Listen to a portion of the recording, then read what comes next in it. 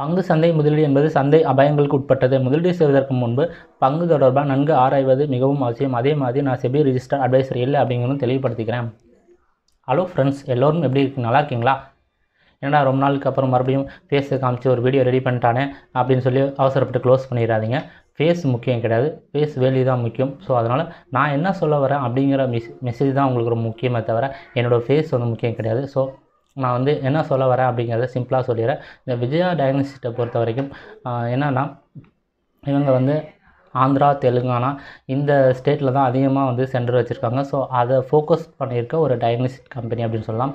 டயக்னிஸ்ட்னா உங்களுக்கு சிம்பிளாக தெரியும். ஒரு சிடி ஸ்கேன் எம்ஆர்ஐ இந்த மாதிரி ஸ்கேன்லாம் நம்ம எடுப்போம் இல்லையா? அந்த சென்டர் தான் இது. கிட்டத்தட்ட எண்பது தொண்ணூறு சென்டர் வச்சுருக்காங்க.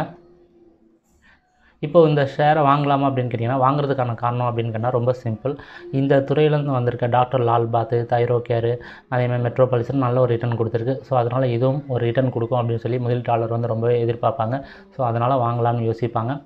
இன்னொன்று வந்து எப்படி தான் இருந்தாலும் டாக்டர் அதே மாதிரி ஹாஸ்பிட்டல் அப்படிங்கிற அந்த செக்டருக்கு வந்து என்ன சொல்கிறது அழிவே கிடையாது அப்படின்னு சொல்லலாம். புதுசு புதுசாக வியாதி வந்துகிட்டே இருக்கும். புதுசு புதுசாக டெஸ்ட் பண்ணுற மாதிரி தான் இருக்கும். ஸோ அப்படிங்கிற பட்சத்தில் இந்த துறைக்கு வந்து ஒரு எதிர்காலம் அப்படிங்கிறது கண்டிப்பாக இருக்குது அப்படின்னு சொல்லலாம். இப்போ பங்கை தவிர்க்கிறதுக்கான காரணம் அப்படின்னா ரொம்ப சிம்பிளாக அதே மாதிரி தான் இப்போது விஜயா டயக்னோஸ்டி இருக்குது அதே மாதிரி டாக்டர் லால் பாத் தைரோ கேர் இதெல்லாம் வந்து லிஸ்ட் ஆகிருக்க ஒரு கம்பெனி இதை தாண்டி அன்லிஸ்டடில் நமக்கு தெரிஞ்ச ஃபேமஸான கம்பெனி எவ்வளோ இருக்குது உதாரணம் தமிழ்நாட்டில் எடுத்திங்கன்னா ஆர்த்தி ஸ்கேன் பாரத் ஸ்கேன் இந்த மாதிரி கம்பெனிலாம் ரொம்பவே இருக்குது அப்படி இருக்கும் பட்சத்தில் நம்ம வந்து புதுசாக வந்து ஒரு பிளேயர் வர்றது அப்படிங்கிறது இதில் வந்து ரொம்ப காம்ப்ளிகேஷன்லாம் கிடையாது. என்ன ஒன்று மிஷினு அதிகமாக பணம் கொடுத்து வாங்குற மாதிரி இருக்கும். ஆள் அந்த அது படித்தவங்க அந்த லேப் டெக்னீஷியன் அதே மாதிரி அட்வான்ஸ்டு இதெல்லாம் படித்தவங்களை வந்து வேலைக்கு வச்சு ஈஸியாக அந்த தொழிலை வந்து பண்ணிட முடியும். அப்படிங்கிற பட்சத்தில் இது வந்து என்ன சொல்கிறது என்ட்ரி பேரியர் அப்படின்னு ஒன்றும் கிடையாது இந்த தொழிலில். ஸோ அதனால் வந்து அதே மாதிரி என்னோடய ஓன் அனுபவத்தில் சொல்கிறேன் இப்போ நான் வந்து ஒரு டாக்டர் வந்து கன்சல்ட் பண்ணுறேன்னா நான் வந்து அந்த டாக்டர் வந்து எந்த லேபில் எடுக்க சொல்கிறாங்களோ அந்த லேபில் தான் நான் போய் டெஸ்ட் எடுப்பேன். நான் வந்து எனக்கு வந்து விஜயா டயக்னோஸ்டிக் நல்லாயிருக்கு அதே மாதிரி பாரத் ஸ்கேன் நல்லாயிருக்கு அப்படின்னு தெரிஞ்சாலும் என்னோட ஓன் இதில் வந்து டாக்டர் சொல்கிறது தான் இருப்பேன் ஏன்னா எனக்கு பயம் வந்துடும் வே வெளியில் போய் நான் எடுத்ததுக்கப்புறம் டாக்டர் வந்து நீ ஏன் அங்கே எடுத்த? மறுபடியும் அப்படின்னு சொன்னாங்கன்னா நம்ம நம்மகிட்ட பதில் கிடையாது. ஸோ அதனால் இதை வந்து ஃபுல் அண்ட் ஃபுல் வந்து இந்த டெஸ்ட்லாம் வந்து யாருமே வந்து இப்போ ஃப்ளிப்கார்ட்டில் வந்து மொபைல் வாங்குற மாதிரி இதெல்லாம் போய் யாருமே வந்து வாலண்டரியாக போய் எடுக்க போகிறது கிடையாது. டாக்டர் கன்சல்ட் பண்ணால் டாக்டர் சொன்னால் மட்டும்தான் எடுப்பாங்க. அப்படிங்கிற பட்சத்தில் டாக்டர் எந்த லேபை வந்து ரெக்கமெண்ட் பண்ணுவார்னு யாருக்குமே தெரியாது. அப்படிங்கிற பட்சத்தில் நம்ம கண்ணை மூடிட்டு இந்த லேபை வந்து வாங்கிட முடியாது. அதுவும் இல்லாமல் இப்போது பார்த்திங்கன்னா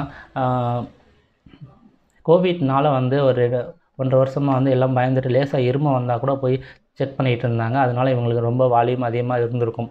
ஆனால் இப்போ கோவிட்டே வந்தாலும் பரவாயில்லடா நான் பார்த்துக்கிறேன் அப்படிங்கிற அளவுக்கு மக்கள் வந்து தைரியம் வந்துடுச்சு ஸோ இப்போ வந்து மறுபடியும் அதே மாதிரி வால்யூமில் வந்து டெஸ்ட் இவங்க பண்ணுவாங்களா அப்படிங்கிறது கொஞ்சம் கேள்விக்குறி தான் சரி இதெல்லாம் போட்டோம்யா எதாக இருந்தாலும் பரவாயில்ல இவங்களோட ஃபைனான்ஷியல் பார்ப்போம் அப்படின்னு பார்த்தீங்கன்னா ஃபைனான்ஷியல் பார்த்தீங்கன்னா ரெண்டாயிரத்தி பதினேழில் வந்து கிட்ட சாரி ரெண்டாயிரத்தி பத்தொம்பதில் முந்நூறு கோடி இவங்களுடைய சேல்ஸு இப்போ முந்நூற்றி எண்பத்தி எட்டு கோடி.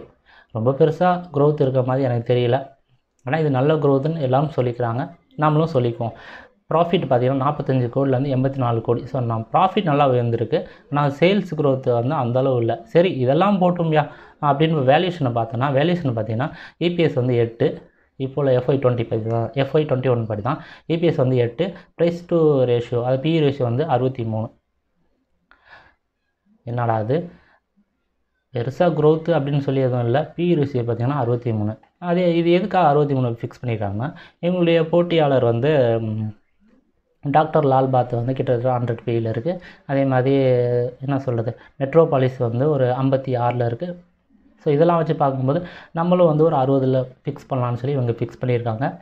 இவங்க சொல்கிற இன்னொரு ரீசன் என்னென்னா மற்றவங்களுக்குலாம் வந்து பி டு பி பிஸ்னஸ் அதிகம். ஆனால் எங்களுக்கு வந்து பி டு சி பிஸ்னஸ் தான் அதிகம். கிட்டத்தட்ட நைன்ட்டி பர்சன்ட்டுக்கு மேலே பி டு சி அதாவது டைரெக்டாக கஸ்டமரே எங்கள்கிட்ட எடுத்துக்கிறாங்க. ஸோ அதனால் எங்களுக்கு வந்து ப்ராஃபிட் மார்ஜின்லாம் அதிகமாக இருக்குது அப்படின்னு அவங்க சொல்கிறாங்க என்ன தான் அதிகமாக இருந்தாலும் என்ன தான் இதாக இருந்தாலும் இதோடைய ஃப்யூச்சர் அப்படிங்கிறது வந்து இவங்களுடைய க்ரோத் வந்து கோயிங் ஃபார்வர்டில் எப்படி இருக்கும் அப்படின்னு சொல்லி நம்மளால் கணிக்க முடியாது.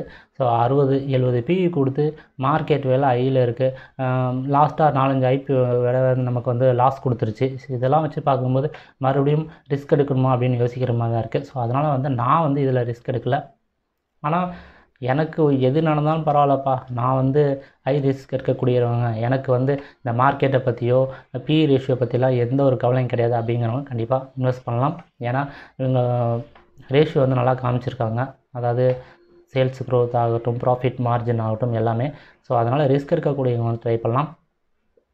லிஸ்டிங் கெயினை பொறுத்த வரைக்கும் நம்ம எதுவுமே சொல்ல முடியாது. ஏன் அப்படின்னு கேட்டிங்கன்னா நாலஞ்சு ஐபிஓ வந்து இப்போ ஃப்ளாப் ஆனதுனால இப்போ வந்து முதலீட்டாளர் வந்து கொஞ்சம் கிரே மார்க்கெட்டில் வாங்குறத கம்மி பண்ணிட்டாங்க. ஸோ அதனால் கிரே மார்க்கெட்டில் பெருசாக ஒன்றும் ட்ரேட் ஆகலை. ஸோ அதனால் ரெண்டு நாள் சப்ஸ்கிரிப்ஷன் பார்த்துட்டு அதிகமாக சப்ஸ்கிரைப் ஆனால் மட்டும் ட்ரை பண்ணுங்கள் இல்லைனா என்ன பண்ணுறது லாங் டேர்முக்கும் இதை வந்து நம்ம ரெக்கமெண்ட் பண்ண முடியாது.